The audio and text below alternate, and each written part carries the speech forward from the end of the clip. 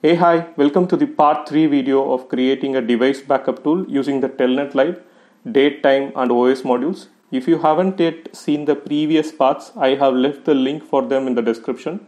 Please check that out. Also the slides and program codes used in this video is also available in the description as a link. Okay, let's get into the video. Let's create a backup another uh, variable called as backup name in this backup name what I'm going to do here is uh, so we have to give the complete path for where the file whatever we have saved here right? In the file the backup file is now saved inside this variable called as backup. And where we have to write this file right? We are we need we need the path. So that is what we are going to create in this variable the path where it has to be written. So so the actual path you know right? You remember? The path of the folder with the date as the name which we created at the start of the program. And then we will add in a slash. And we will add the host. Okay? So plus host plus let's have a space here.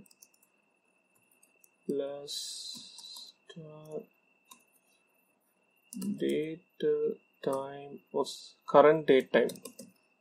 Okay so the file name will contain the time also okay? And then we will add dot text. We will save the file as a text file. Basically let me write it out here. So what this will be doing is slash home slash if you remember the path right? The path is something like this correct? So path is this. So this is the path. And then what did we do? Like uh, we created the folder say example 2020 hyphen the 12th month date one.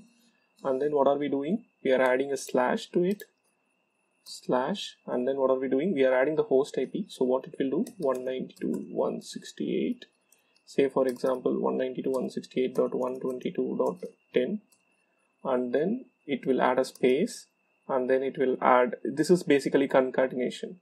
It will add the current date time now. So what it will do? The date is this and then the time. So it will be in hours minutes and seconds format. So let me write like this. Just for example I don't know what time it will be executing on. And then it will be like this. So this whatever you are seeing on the screen right? Let me zoom out a bit. So so you see here now I have a complete working directory including the file name. So if I pass this on this is where the file will get saved. I mean inside this folder with this name. So that is why that is what I'm preparing in this variable. That is what I'm preparing and saving in this variable to be exact. Okay? This is what will be happening in the backend when the program gets executed. Then what I will be doing is I will open up the file. This is the file name correct? So backup and then we will open it in write mode. So even if the file is not there it, it will be automatically created. We'll open it as file and file what we are going to write into the file is the backup. This is the backup the telnet session backup. We will write it into the file I think we are done for this. I think this should be enough. So let's let's just test it out. So let me go to my terminal. So guys, we are in the terminal and uh, we are in the right path where our program is available. So let's see. So this is the Python script. Let's copy the name and execute that.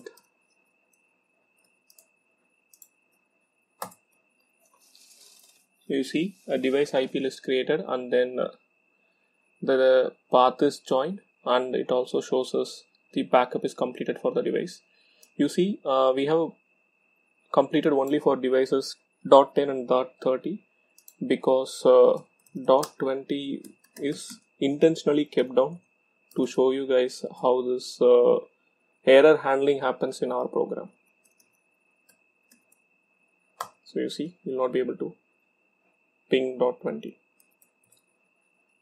okay let's go back to our atom.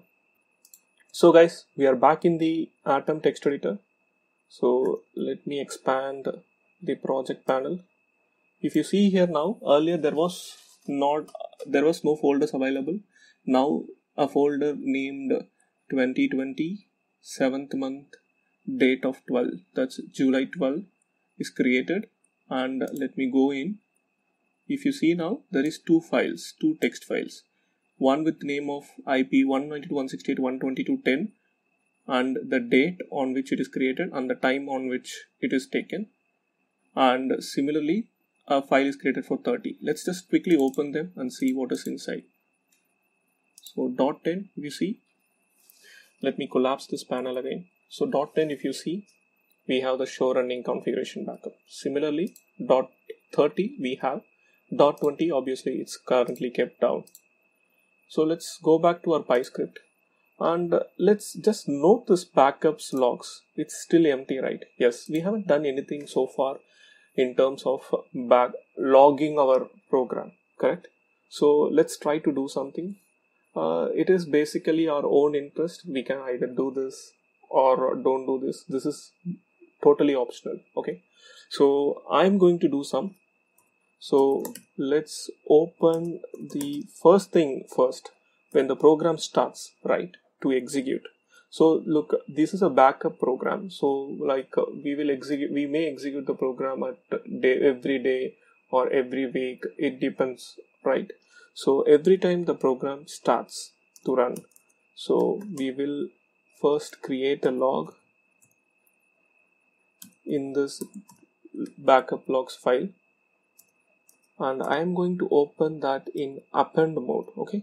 So that the earlier configuration earlier logs will not be deleted. Everything will be just appended. So i'm just opening it with a random name. I'm going to use logging here. So what i'm going to log here first so logging dot let's write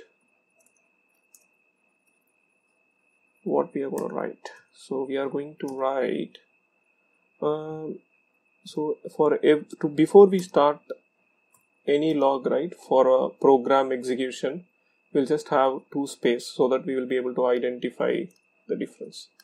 And then let's write like a program started for the day at what time it started right? Date time dot now